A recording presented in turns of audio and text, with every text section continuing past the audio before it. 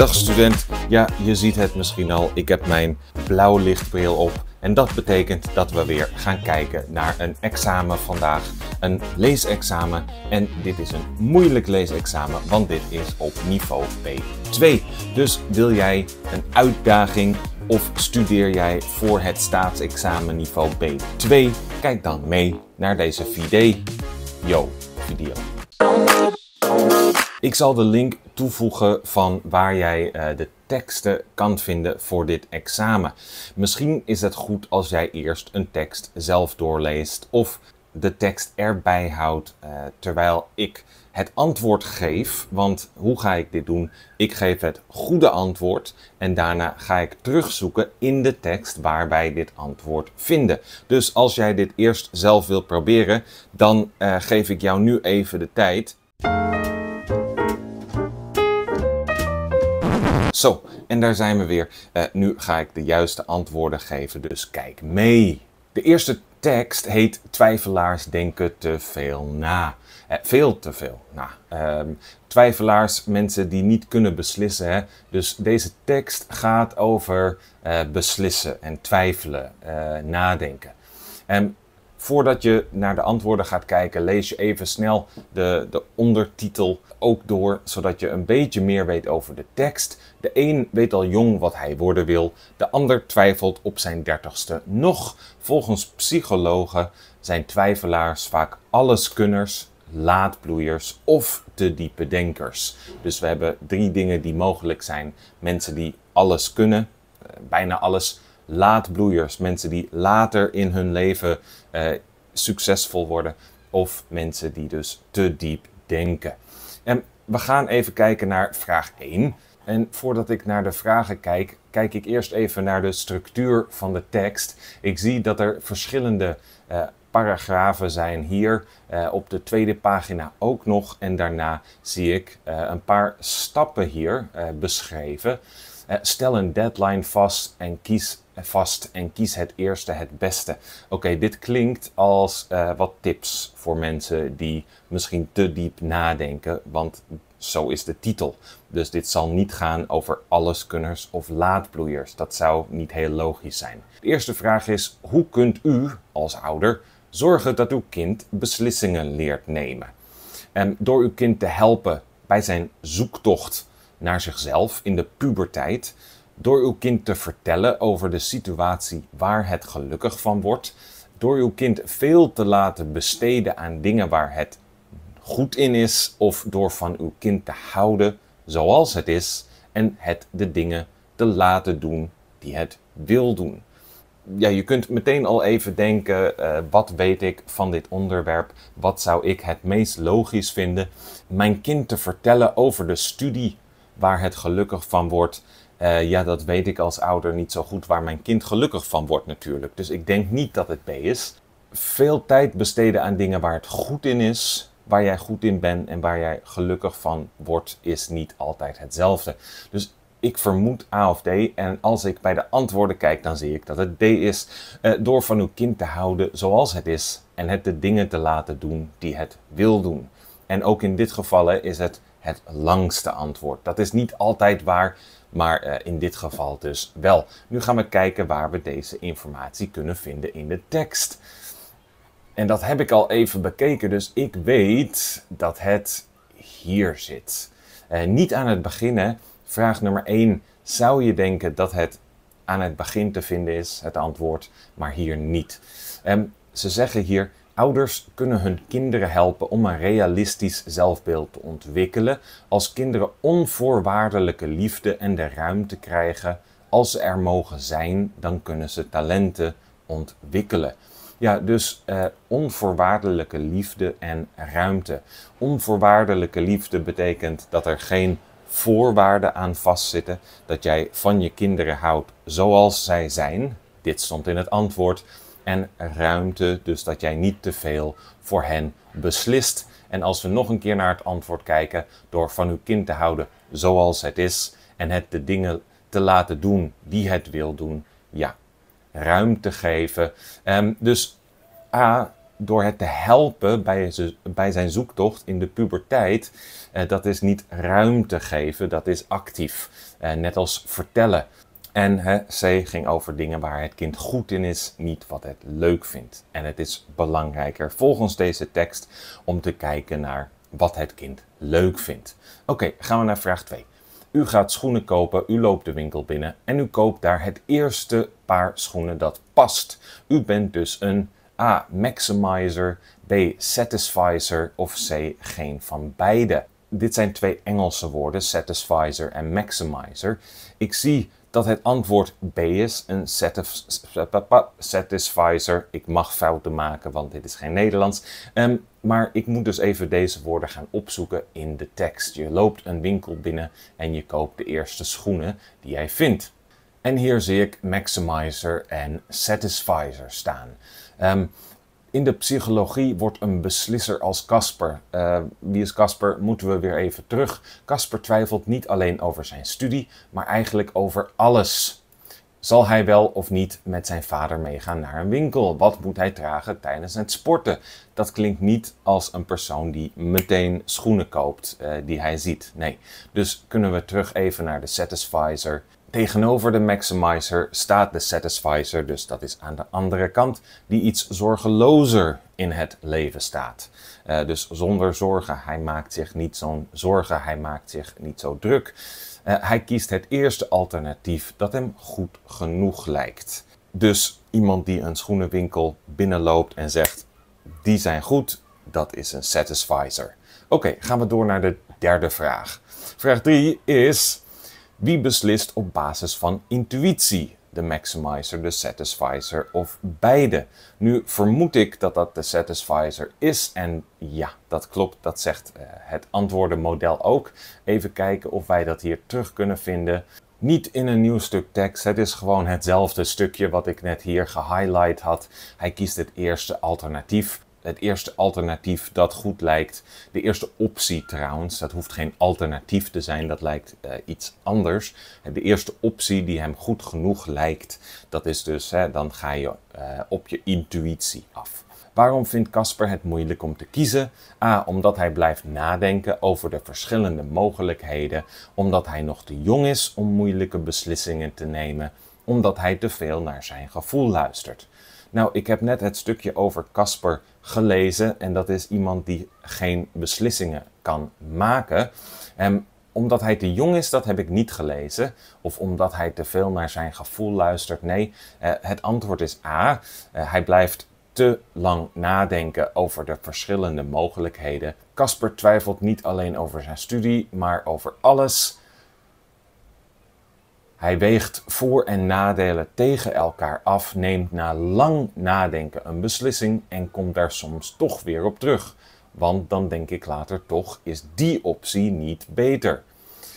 Hieronder staat nog een stukje over de maximizer, terwijl de maximizer later vaak twijfelt of dit wel echt de beste keuze was. Zat er bij de afgewezen alternatieven niet toch een betere optie? Dus um, voor vier hij blijft nadenken over de verschillende mogelijkheden, ook nadat hij een beslissing gemaakt heeft. Nummer 5. Wat adviseert Ab Dijksterhuis in zijn boek? Dan gaan we zo in de tekst zoeken naar de naam Dijksterhuis. Dat is uh, makkelijk terug te vinden, denk ik. A. Baseer je keuze zoveel mogelijk op de informatie die je hebt. B. Kies niet te veel op gevoel. Uh, C. Laat het onbewuste werken. Uh, door even afstand te nemen. Ja, dus het onbewust te laten werken betekent niet erg over iets nadenken, maar even afstand nemen en het proces automatisch te laten gaan. En dus gaan we zoeken naar Ab, Dijk, Ab Dijksterhuis en het goede antwoord schijnt C te zijn. Laat het onbewust werken. Ik zie het aan het einde van de tekst. Over één ding zijn de psychologen het eens. De intuïtie, door Ab Dijksterhuis het onbewuste genoemd, daar hebben we het onbewuste, is de beste raadgever bij complexe keuzes. Dus het onbewuste kan beter beslissen voor jou dan het bewuste, dan het nadenken actief over iets. Dus dat is C inderdaad. Um, laat het onbewuste werken. En dat is een beetje het tegenovergestelde van B. Want B zegt kies niet te veel op gevoel, maar het onbewuste is juist je gevoel eigenlijk. Iets waar je niet hier uh, over nadenkt, maar uh, hier iets van voelt. Nummer 6. Wat is het doel van deze tekst? Beschrijven waarom mensen twijfelen en aangeven hoe je effectief kunt kiezen. Laten zien dat er verschillende manieren zijn om keuzes te maken. Twijfelaars overtuigen van de voordelen van een intuïtieve keuze. Deze tekst geeft vooral veel informatie. Dus het is een informatieve tekst. Dus C zou een tekst zijn die jou wil overtuigen. Dat is de, de mening van de schrijver. Maar de schrijver geeft hier niet echt een mening, meer uh, informatie over alle mogelijkheden.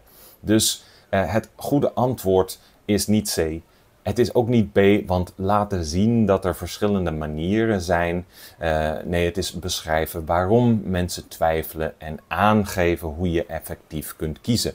Want uh, ja, er zijn verschillende manieren om keuzes te maken, maar ik heb net het laatste stukje, hè, de, de conclusie gelezen eigenlijk. En daarin zagen we dat er een effectieve manier was, die wordt genoemd. Dus het antwoord is A. Oké, er worden ook nog een paar tips gegeven. Uh, stel een deadline vast en kies het eerste het beste. Maar hier zitten eigenlijk uh, geen vragen over in het examen. Um, maar je ziet wel, hè, er wordt dus een effectieve manier gegeven van beslissingen maken. Dus het antwoord blijft bij 6 nummer geen nummer, uh, letter A. Beschrijven waarom mensen twijfelen en aangeven hoe je effectief kunt kiezen. Gaan we door naar de volgende tekst. Uh, de volgende tekst uh, nemen we ook weer even snel de tekst door alleen aan de hand van de titel en de structuur gefluister bij de koffieautomaat. Als wij praten over de koffieautomaat, dat is, um, of dat gaat bijna altijd over het informele deel van werk. Het informele deel van het praten met collega's, niet officieel aan tafel, in de meeting, in de vergadering. Nee, bij de koffieautomaat. Want daar kan iedereen even eh, direct, persoonlijk eh, praten en niet formeel. Waarom wordt er gefluisterd? Als er gefluisterd wordt, dat klinkt een beetje geheimzinnig, een beetje stiekem. Dus dat is meestal niet zo positief. Uh, dan zie ik een paar subtitels, wilde verhalen. Herhalen is geloven, waar rook is, is vuur, betrouwbare boodschapper. Dus dit lijkt een beetje te gaan over geroddel of geheimen. En dan zijn er de vragen. Nummer 7. Waarom is het voor een bedrijf zo belangrijk dat er goed wordt omgegaan met geruchten? Ja, geruchten eh, zijn een beetje als roddels, dingen waarvan je niet 100% zeker weet dat zij waar zijn. Um, drie keuzes omdat geruchten de motivatie en productiviteit van werknemers negatief beïnvloeden, omdat geruchten ervoor zorgen dat werknemers hun leidinggevende minder vertrouwen omdat geruchten veel onzekerheid en stress veroorzaken bij werknemers? Um, ja, het correcte antwoord is A. Omdat geruchten de motivatie en productiviteit van werknemers negatief beïnvloeden. Oké, gaan we nu zoeken. Het is dus belangrijk dat er goed wordt omgegaan met geruchten. Als je goed kijkt naar de vraag, hè, is dit eigenlijk uh, een, of je nu kiest voor A, B of C, het is altijd een probleem. Geruchten zijn een probleem. Je ziet hier in A negatief beïnvloeden. Je ziet bij B um, minder vertrouwen. Je ziet bij C stress um, en onzekerheid hier. Dus het is altijd negatief. Dus geruchten zijn een probleem. Dan is het logisch dat dit probleem het onderwerp van de tekst is. Het onderwerp van de tekst, het probleem, van de tekst wordt meestal geïntroduceerd in de introductie. Dus laten we even kijken in de introductie. Uh, dat lees ik even samen met jou. Hoe ongeloofwaardig en vergezocht ze ook zijn, geruchten en roddels kunnen grote gevolgen hebben. Ze kunnen de reputatie van personen en bedrijven blijvend schaden, een hoop onrust met zich meebrengen en een berg geld kosten. Ze kunnen bovendien het arbeidsmoreel en de productiviteit van de werknemers aantasten. Oké, dus A, omdat geruchten de motivatie en productiviteit van werknemers aantasten, negatief beïnvloeden. Ja, er staat wel iets over uh, vertrouwen als je denkt, uh, als je leest, ze kunnen de reputatie van personen en bedrijven blijvend schaden. Maar um, in het antwoord staat dat werknemers hun leidinggevende minder vertrouwen. Dat gaat dus specifiek over leidinggevende. Maar personen kunnen natuurlijk ook de werknemers zijn. Dus dat klopt niet helemaal. Uh, onzekerheid en stress bij werknemers. Er wordt ook wel weer gezegd dat er onrust kan ontstaan. En dat kun je een beetje zien als onzekerheid. Maar uh, bij werknemers, nee, dat wordt er niet specifiek gezegd. Werknemers worden alleen in de laatste zin genoemd. Ze kunnen bovendien het arbeidsmoreel en de productiviteit van de werknemers aantasten. Alleen in die zin komt werknemers voor. Maar ABC in alle drie antwoorden wordt er over werknemers gepraat. Dus als je het niet helemaal zeker weet, kijk goed naar uh, of al deze woorden ook in het antwoord in de tekst zitten. Want als dat niet het geval is, dan heb je meestal niet het goede antwoord. Oké, nummer 8. Wanneer ontstaan geruchten volgens de tekst? Die ontstaan als mensen de reputatie van een bedrijf ernstig willen schaden. Dus mensen bedenken expres geruchten om schade te doen aan het bedrijf. Of als mensen een waar verhaal direct gaan weerleggen. Dus uh, weerleggen betekent tegenspreken, zeggen dat het niet zo is. Of die ontstaan als mensen onzeker zijn en twijfelen aan de betrouwbaarheid van leiders. A klinkt een beetje vreemd. Uh, mensen die willen expres uh, dat een bedrijf schade krijgt. Als jij voor een bedrijf werkt, is dat niet helemaal logisch. B, die ontstaan als mensen een waar verhaal direct gaan weerleggen. Dus zeggen dat iets dat zo is, niet zo is. Maar wat is dan het gerucht? Want er is een waar verhaal. Dus dat is ook een beetje vreemd. Het antwoord is C. Gaan we even kijken waar we dat vinden in de tekst. Dat zie je hier. Geruchten blijken vooral de kop op te steken, dus ze komen vooral tevoorschijn in onzekere tijden bij reorganisaties en fusies bijvoorbeeld, hè, als bedrijven samengaan. Daarbij speelt het vertrouwen in de autoriteiten een grote rol. Wanneer de baas ons regelmatig verkeerd heeft voorgelicht, richten we ons automatisch meer op onze collega's voor informatie. Ja, dus als jouw baas jou de verkeerde informatie geeft, dan geloof je jouw baas niet meer. Dus C, die ontstaan als mensen onzeker zijn en twijfelen aan de betrouwbaarheid van leiders. Ja, en je ziet, hè, hier gebruiken ze het woord leiders, niet baas. Uh, ze gebruiken vaak net een ander woord dan in de tekst. 9. Iemand vertelt u een gerucht. Wat bepaalt of u het verhaal gelooft volgens de tekst? Of u het verhaal eerder heeft gehoord en of u de boodschapper betrouwbaar vindt, dat klinkt op zich logisch. Of u het verhaal kunt verklaren en of u zelf een onzeker persoon bent. Of u het verhaal overtuigend vindt en of u het onderwerp belangrijk vindt. Um, het antwoord is, zoals ik al dacht, A. Of u het verhaal eerder heeft gehoord en of u de boodschapper betrouwbaar vindt. Dus is het verhaal bekend en weet jij uh, of de boodschapper te vertrouwen is? Even kijken waar we dat terugvinden. En hier is de ondertitel Herhalen is geloven. Het gaat over wanneer mensen dit geloven. Dus dit is een, een um, hint dat wij de informatie hier kunnen vinden. En ik heb de informatie onderin hier gevonden. Of we een verhaal geloven, eh, doorgeven aan anderen, heeft namelijk vooral te maken met of we erin geloven. Oké, maar waarom dan? Wanneer geloven wij erin? Dat is de vraag. Dat hangt onder meer af van hoe vaak we het horen. Hoe vaker hetzelfde verhaal ons bereikt, hoe sterker wij geneigd zijn om het te geloven. Haast is dus geboden, je moet snel zijn hoe langer een gerucht circuleert, hoe meer mensen het horen, geloven en weer doorgeven. Daarnaast geloven we het sneller als we degene van wie we het gerucht horen betrouwbaar en geloofwaardig vinden.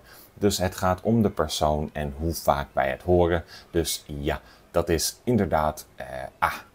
of u het verhaal eerder heeft gehoord en of u de boodschapper betrouwbaar vindt. De persoon die het jou vertelt. Nummer 10. Wat is de beste manier om de verspreiding van een onjuist verhaal te stoppen? Het gerucht een context geven en vervolgens weerleggen, dus tegenspreken. Eh, het gerucht negeren en een andere versie laten rondgaan. Mm, dat klinkt niet heel logisch, dat klinkt een beetje uh, manipulatief. En dat is meestal niet uh, het soort advies dat teksten als dit geven. Wees manipulatief. Het juiste verhaal bekendmaken en verder niet ingaan op het gerucht. Het is A. Het gerucht een context geven en vervolgens weerleggen. Ja, een gerucht, dan gaan we ervan uit dat het niet klopt, dat het niet waar is. En die informatie vinden wij hier. Wat kun je doen als er een onjuist verhaal de ronde doet?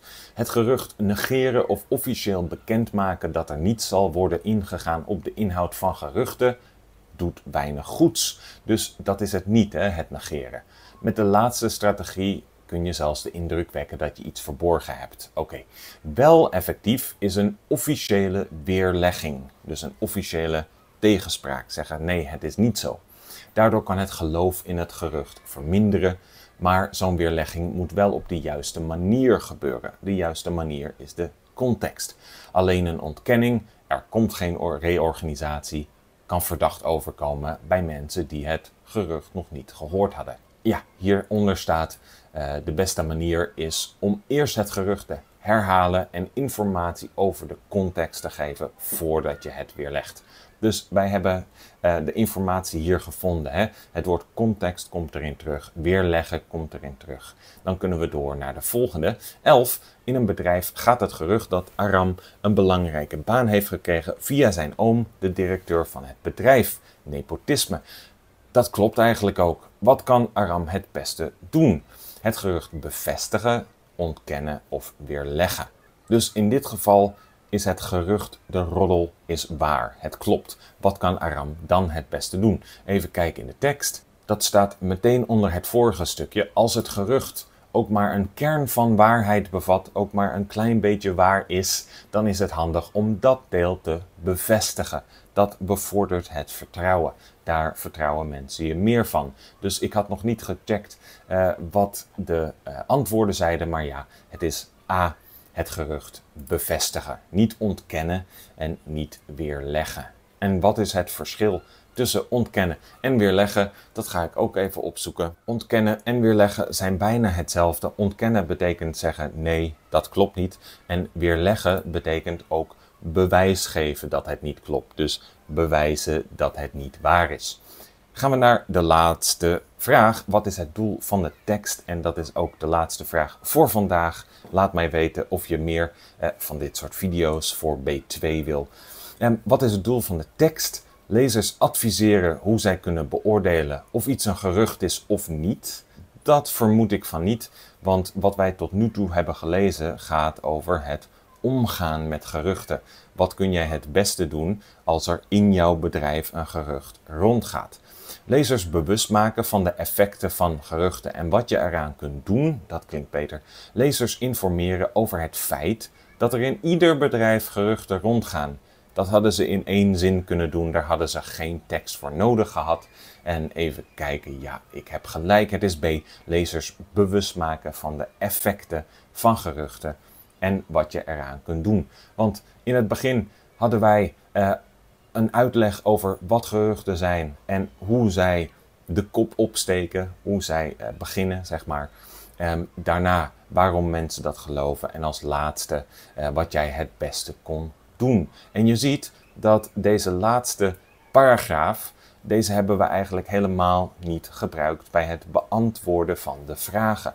Dus als het kan, beantwoord de vragen door de antwoorden op te zoeken zoals ik deed vandaag. Dat kan je veel tijd schelen en je hebt nooit zoveel tijd op je examen. Oké, ben jij aan het oefenen voor jouw examen?